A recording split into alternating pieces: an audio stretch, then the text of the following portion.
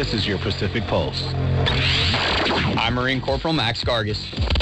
In Okinawa, Marines with Lima Company 3rd Battalion 3rd Marines conducted an air assault at Ie Shima. Marines honed their tactical skills while rapidly inserting into an austere environment, demonstrating their ability to quickly seize and defend key maritime terrain in the Indo-Pacific region.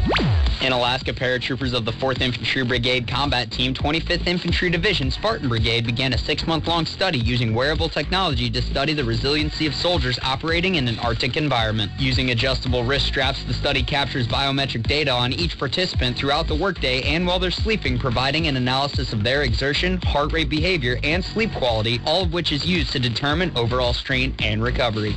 And in Japan, the U.S. and Japanese Coast Guards concluded a joint law enforcement exercise in the Philippine Sea, furthering capabilities in performing maritime law enforcement missions.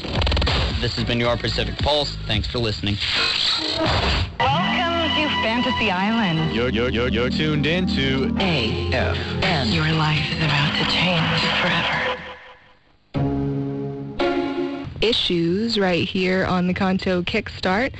We have Leslie Valencia here from Yokota FSS Marketing here to talk about some happenings at ANFRC, right? Yes, so every month ANFRC offers different classes to help the community. For example, they have the Wealth Building Wednesdays, and every week they teach people how to spend their money, money wisely.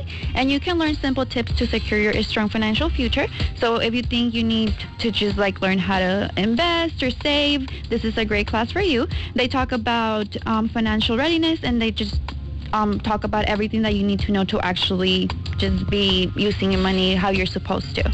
Yeah, I like the name of that too. It, it sounds better than saving money or like financial whatever, like wealth building. Yes, that sounds and you can ask questions. Like, it's not like just like the instructor talking and talking. You Yeah. can engage and actually let them know, like, oh, if even if you want to talk to them, like on the side, they'll help you. Like, okay, let me. I, I don't feel comfortable talking about this in front of everybody there. They'll they'll help you on their own. So Awesome. That's a, a, a good opportunity.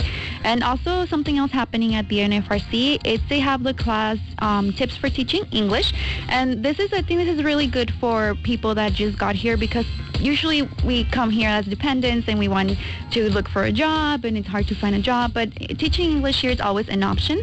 So if you're thinking about teaching english make sure to stop by this class. This is happening on monday march 8th because they give you a lot of tips and tricks to teach um, english to japanese nationals. So it's a great opportunity. Yeah. I actually um, used to do that online before I joined the Navy. oh interesting Um, so can confirm it's uh, it's really good. It's a really good experience Mm-hmm. and just such a cool thing to do. Um, I, I kind of want to do it for Japanese now too, the other way around, you know. Mm-hmm. But um, anyways, that brings us to the next one, right? Yes, the last class we're going to be talking about at ANFRC is the Japanese Customs and Courtesies.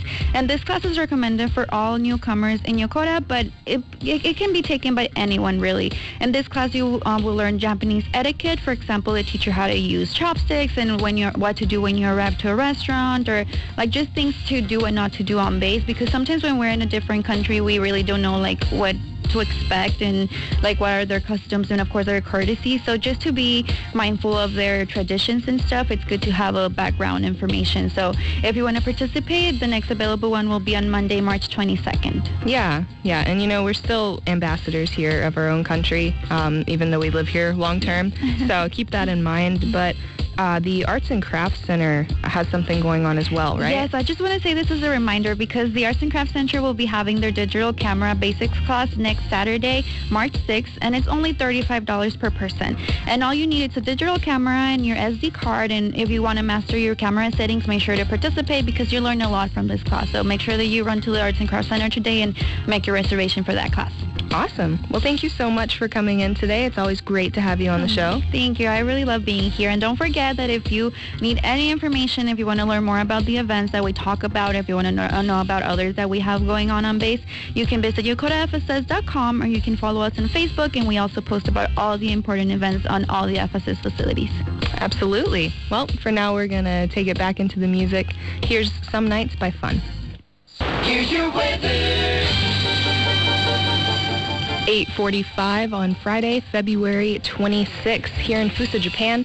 It's 45 degrees out with a high of 54 and a low of 34. That weather update is brought to you by the Yokota Weather Team and for your exchange rate, 1 US dollar is going to get you 103 yen according to the DoD